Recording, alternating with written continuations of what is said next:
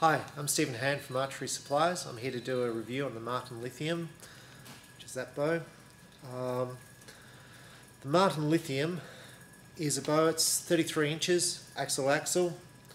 Um, I think it's got about 7 inch brace height. In fact, it does have 7 inch brace height.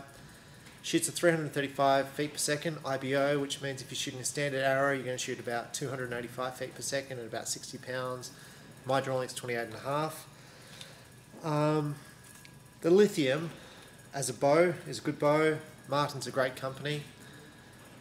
I just want to talk through points with this bow. It's got quad limbs, so each limb's independent. Basically, the idea of a split limb of split limbs is basically with a solid limb bow, you've got the if the if the axles here, the wheels are tilting like so, You've got a chance of cracking the limbs down the centre. Um, so basically, many years ago they went to split limbs. That's what this has. Pretty bulletproof. Um, the lithium's got a bridge riser here. That's for increased strength. Um, it's a fully one-pieced machine riser. When they make risers, they do cast riser, which is poured into a mold. That's the weakest type of riser. It's subject to, can have flaws in the design um, and weaknesses.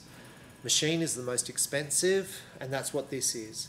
Machining this riser is a lot more work than a normal riser because of the bridge here, because you need a total piece of steel that big, and then you need to machine it out. So there's lots of waste when they make it. Now this bow is equivalent in speed, in specs to a Hoyt Spider. The Hoyt Spider sells for about $1,200 it's the same speed as a Hoyt Spider. It's got a bridge riser like a Spider. Um, it's got some advantages over the Hoyt Spider. The Hoyt Spider has got a cable stop, so when it hits the cables, it can flex. Um, the Martin Lithium's got a draw stop, just there. This draw stop hits just there. As you draw it back, it hits the limb, so you it, it hits a wall.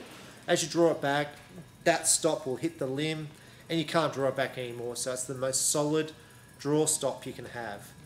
Um, the bow's adjustable in draw length from 26 to 31 inches through rotating modules. A lot of the Hoyts you need to um, replace the modules.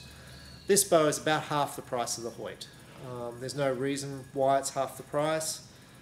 Um, we've got them on special, so that's probably why we're half price of the Hoyt. But to me, it's a pretty equivalent bow. The grip's nice and comfortable. Um, it's a nice bow to shoot. Now the cams on this bow is the same as the Martin Nemesis and the Martin Alien. They use the same cams, same limbs. The only difference is the riser. Um, so when you look at this riser compared to the Nemesis, which is the more expensive model, it's very, very similar. In fact, I was doing a review and I got got them mixed up. Uh, the the Nemesis has a little hook here and the Lithium doesn't, as one of my viewers uh, told me, so I'm redoing the review. Um, but we'll just have a quick shot, see what you think. I like it, it's a nice little bow to shoot. It weighs about four pounds. Shoots nice, looks good. Um, they come in colours, white and red. You would have seen my white and red Nemesis. We'll just have a shot so you can see how it feels. I've got set up here with a basic whisker biscuit, D-loop, peep sight, 5-pin hunting sight, little rubber stabilizer. The little rubber stabilizer is doing nothing at all. It's not balancing the bow, it's not absorbing much shock or noise. It's just there for looks. Okay, now the draw cycle on the Martin is very smooth. It's about, to me, it's probably about five pounds lighter. Feels five pounds lighter than most bows, so we'll just draw this one back. So it's smooth, smooth, smooth. I'm peaking about now, and I'm about to get into the valley, just there. It's easier now, my draw stop's hitting. The bow resists torquing, it doesn't want to torque in my hand. It's not moving in my hand. There's a slight, there's a slight bit of, the bow slightly bounces back in my hand when I shoot. So a stabilizer, and I really wouldn't class this as a stabilizer. A stabilizer with some weight will rectify that, so that will fix that problem. It's not as top heavy as the Nemesis because the Nemesis is more of a 3D bow. This is more of a hunting bow. Although you could use it for 3D target hunting without any problem at all. 33 inches axle axles, easy to shoot. Um, but primarily this bow was designed for hunting. It's a hunting bow which is easy to shoot. Really there's no thing, nice little cable slide. It's a very simple bow. You're not likely to have a problem with this bow ever. in 10 years time we'll still be shooting the bow. Parallel limbs, um, not as parallel as some. There's not a lot of tension on these limbs as you'll see, which just means you should never have any problems with these limbs. Um, it means there's not as much tension on the strings and cables, so you won't wear out the strings and cables as much, but there'll be a little bit more vibration and noise in the shot than bows with more compression on the limbs. But I think it's nice to shoot. I'd be happy to own one.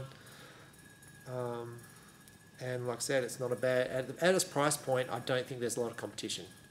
At $600 for this bow, you know, the Hoyt, which looks similar, it's just not the same bow. It's a cast bow. It's it's about 600. It doesn't have draw stops. It doesn't have this advanced cable system. It shoots at 300 feet per second, not 335 feet per second. The only bow that is comparable is the Hoyt Spider, which is about 1100 off memory, because it shoots the same speed. It's got the bridge riser but it doesn't have the draw stop down the bottom here. So I think it's actually better than the Hoyt Spider. The finish is not as good as the Hoyt Spider, but it's not bad. Like there's no deflex. There's nothing in the when they lay the um, film on. There's no defects at all on the film. To me, it's just it just doesn't doesn't feel as like it's the Hoyt do a lot of do a lot to make their bow look like it's a million dollar bow. Um, this bow, it's perfectly functional. It's a great bow, roller bearings in the cams. It's got everything you want in the top of the line bow. But it doesn't look like a million dollar bow. I think it looks great, but you know. Um, nice bow, check it out. Martin Lithium archery shop, about $600, $700 you'll be paying. Great bow for a price, last you forever. Thank you.